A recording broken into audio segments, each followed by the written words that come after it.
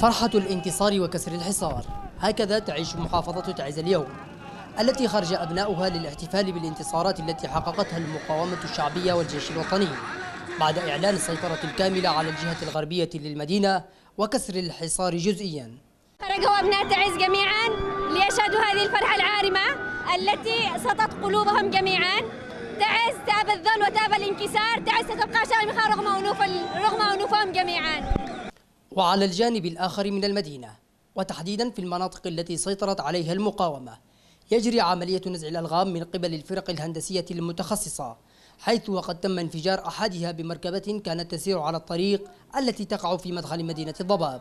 الفريق الهندسي في محافظة تعز لمكافحة الألغام يعمل لإزالة الألغام والقذائف المتفجرة وبقايا الحروب وكذلك العبوات الناسفة. آه، هذا الطريق خط الضباب طبعا خط ملوث بالألغام.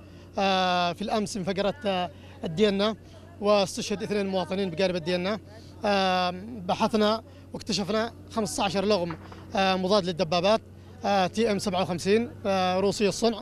والفريق يعمل بكل جاهزيته ونحذر المواطنين بعدم التحرك أو السير في هذا الطريق حتى يتأمن من الالغام.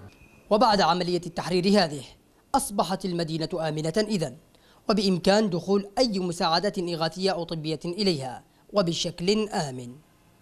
هنا التحمت المقاومة الشعبية ورجال الجيش الوطني في الجبهة الغربية بجبهة ضباب وكسر الحصار عن المدينة وباتت الحركة أكثر أمنا فيما لا تزال العمليات مستمرة في الجبهة الشرقية والشمالية من أجل استكمال عملية تحرير المدينة حمزة أمين قناة بلقيس من منطقة ضباب الغرب من تعز